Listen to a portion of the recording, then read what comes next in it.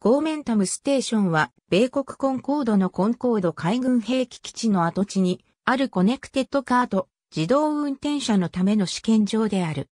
CNWS の縮小により、コントラコスタ郡交通局により CNWS の敷地がゴーメンタムステーションという名称で自動運転車の試験場として再利用され、2018年8月にはトリプル A ノーザンカリフォルニア、ネバダユタが買収した。敷地面積は2100エーカー、米国最大級の自動運転試験場である。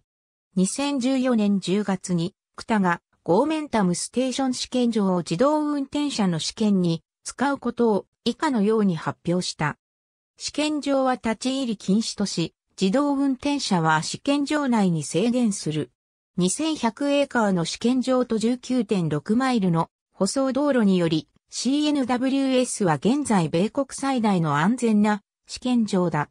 メルセデス・ベンツは車両と通信する信号機のようなスマートインフラを含む新しい自動車の技術を試験する許可を得たと発表した。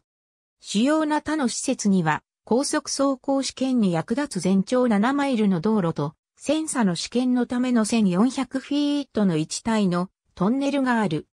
この会社のサイトに掲載されている約30社の協賛会社には、トヨタ、ホンダといった自動車製造業、ウーバー、リフトといったライドシェア会社、中国の自動運転会社バイドゥなどが名を連ねている。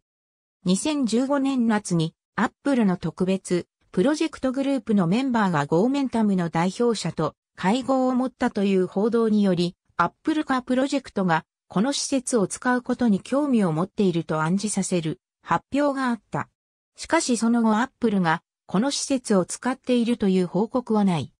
2019年8月にゴーメンタムは V2X 試験施設を10月から運用開始することを発表した。ありがとうございます。